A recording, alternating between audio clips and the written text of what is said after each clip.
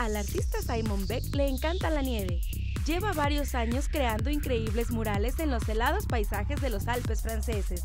Consigue crear maravillosas piezas geométricas basadas en patrones simétricos y algunos incluso los hace con un efecto 3D. Se inspira en esquemas matemáticos o en los dibujos en la arena de los jardines japoneses.